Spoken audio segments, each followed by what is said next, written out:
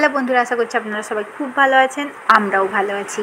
আজকে শুক্রবার, এখন বিকেলবেলা ছেলেকে চিলা বানিয়ে দিচ্ছি, ও খাবে আর আমার খুব চকলেট খেতে ইচ্ছে হচ্ছিল, তাই আমি একটা চকলেট বের করে নিয়ে এসে খাচ্ছি।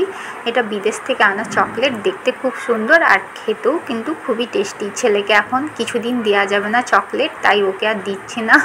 আমি এটা লুকিয়ে খেয়ে নিচ্ছি আর ছেলের জন্য চিলা ভেজে দিচ্ছি। ওকে চিলাটা দিয়ে দেবো, ওর এখন খিদে পেয়ে গেছে। আর বাইরে দেখুন কীরকম বৃষ্টি হচ্ছে, তবে এখন একটু বৃষ্টিটা কম।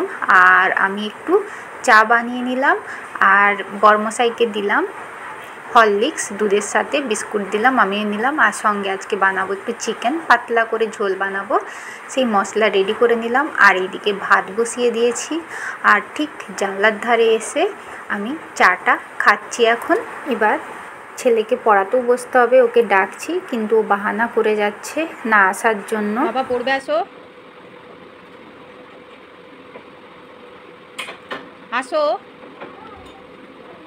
আর কত দাঁড়াবো বাবা?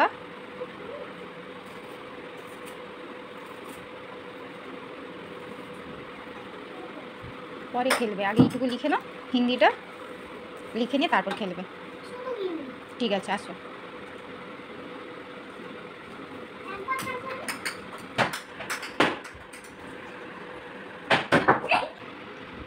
তো একবার খেলে পড়তে এলো, কিন্তু এসে ও আমার কোলে শুয়ে গেল। কত বাহানা যাতে পড়াশুনোটা না করতে হয়। তারপর আমি রান্নাটা করতে গেলাম আর বরমশাই ওকে এসে একটু পড়াতে বসালো।